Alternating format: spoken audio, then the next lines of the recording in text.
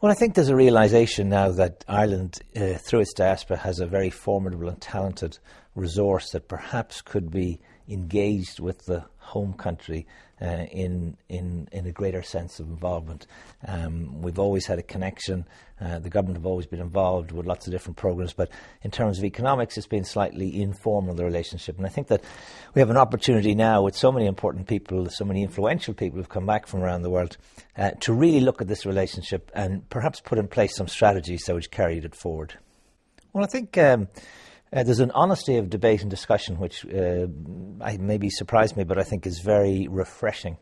I think there's a realization that uh, there's a role to be played. I think there's a frank exchange of the challenges and difficulties for we're doing.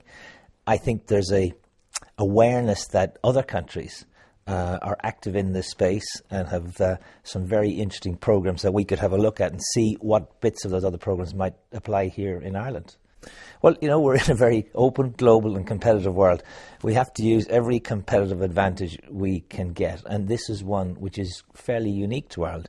Now, many countries have diasporas, but very few countries have a diaspora as diverse in a way, um, as successful, as influential, as talented as the Irish diaspora. So, so that's there, it's a given, and I think the challenge for the government now is to put in place strategies that really, really um, convert that sense of goodwill, engagement, involvement.